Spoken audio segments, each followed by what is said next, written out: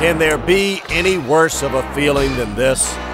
You come so close, only to finish in second place.